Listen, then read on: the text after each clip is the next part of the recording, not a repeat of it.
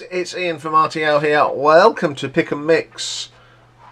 And this week we are taking a wander down the sidewalk, which means we're going to have a look at the a US top 10 on this day. And is this time it is 1972. So, in 1972, the 11th of January was actually a Tuesday.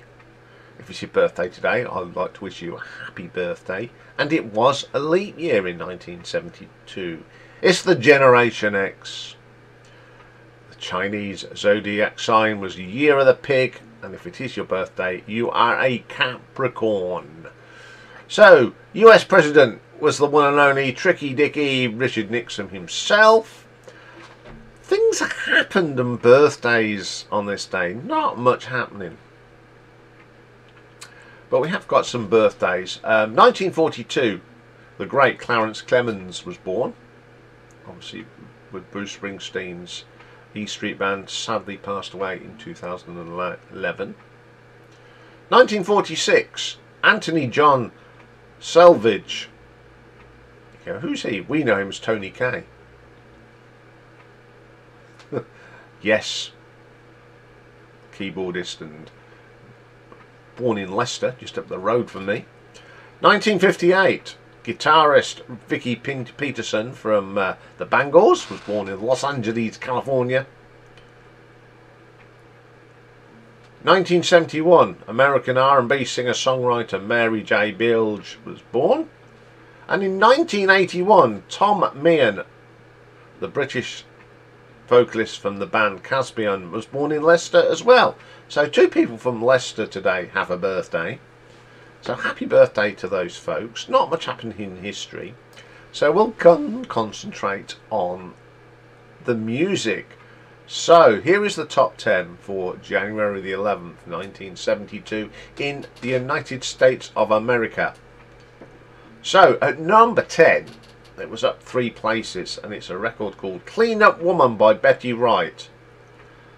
Now this eventually got to number 6 on the Billboard. Didn't get released in the UK. She did have one hit here in the UK but not until 1975 and that was Shoorah Shoorah. Now personally I don't know much about this one um, but when listening to it I thought it was okay typical sort of early 70s American music. Yeah, not too bad. Okay, number nine, up one place for Donny Osmond. It was a double A side, Hey Girl and I Knew When. This wasn't released in the UK. Got to number four in the on the Billboard. No, we got to number four in Canada, and this is only where it peaked at number nine in America. Sorry about that, folks. Um, I'm not a great fan of Donny Osmond, I must admit. Um, hey Girl is a bit sickly for me, but uh, the other, the I knew when was a bit better, but it's just not my cup of tea. Okay, number eight. Down three places for Michael Jackson. Got to be there. Had reached number four, so it was on its way down the charts. Got to number five here in the UK and a top three in Canada. Even as Michael as a kid, it was a great song. I thought it was one of my favourite Michael Michael Jackson songs. Um, when he was in the early years. Okay, number seven, up one place for the new seekers. I'd like to teach the world to sing. Big hit all over the world for them. Obviously, it was number one here in the UK and Ireland and New Zealand. And this is as far as it got in the American charts and same in Australia, number seven. It was nice to see the New Seekers doing well in America. Uh, it's a great song. It's a great anthem. I've spoke about it a lot. It gets keeps coming up on Richard and I videos. We both like this song a lot. Okay, number six, we have a non-mover. It's a track called Scorpio by Dennis Coffey and the Detroit Guitar Band. This um, as as far as it got in America. Never released here in the UK. I'd never heard this record until I listened to it a few weeks ago, and I quite like it. I like the guitar work in this. It's a really good song, and I love the bongos in it. Okay, five down two places. Family Affair from Sly and the Family Stone on its way down from number one in America. Only got to number 15 here in the UK. Love this song, classic from Sly and the Family Stone. Everybody loves this, one of the best funky records of 1972. Okay, number four this week. Up three places. Sunshine, Jonathan Edwards. This is where it peaked on the Billboard. Number three in Canada. Number 45 in Australia. But guess what? Never released here in the UK. It's another song that I hadn't heard much about. I'll listen to it. He's a very good singer and it's some nice guitar work and I quite like this song. I'm going to have a look, go down the rabbit hole and look at a few more bits by Jonathan Edwards. Okay, number three. Up one. Let's Stay Together, Al Green. On its way up to the top spot. Got to number seven here in the UK. It's a great song from Al Green. I love this song. It's one of the He's great. What more can you say? Okay, number two. Last week's number one.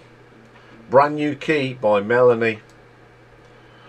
Um, it was released in 1971 and it so it'd been hanging around a little while. Uh, got to number four here in the UK. Even managed number 23 in uh, Germany. Number one in Canada and New Zealand. I love this song. Um, it's a bit of a double entendre because it's nothing to do about roller skates and keys. It's about something else, of course. And then here in the UK, the Wurzels mothered it with a brand new combine harvester. yeah, great little tune. So, there was a new number one this week. And it was the first of four weeks on the top spot in America. And it's the Day That Rock and Roll Died. A song called American Pie, of course, by Don McLean. Big hit all over the world. Uh, got to number one in Australian Canada. Got to number two here in the UK. It's an absolute brilliant song. Um, it's just a song about the day rock and roll died when we lost Buddy Holly, Holly, the Big Bopper, and Ricky Valance. And it's about a boy. Uh, the song's actually about a lad um, delivering the newspapers that day, and had just a great, great song. Um, Madonna had a go at it and totally ruined it, but this is just a classic, classic song. So there we go. The top 10 on this day in America in 1972. Well, that's all for today on video side of things, but tonight we have got the live stream again. So we'll mention some of these people in the hatches and matches and dispatches. Uh, we'll be back tomorrow. We've got a live album ranking and we're going to go a bit of thrash metal tomorrow. We're going to look at the live albums of Megadeth. And also tomorrow we've got a one-off album and it's called Storm Corrosion where it's when Mikael from uh, Opeth and Steve Wilson from Porcupine Tree got together to make this really strong album. So that's all coming tomorrow. I will see you tonight on the live stream. Bye for now.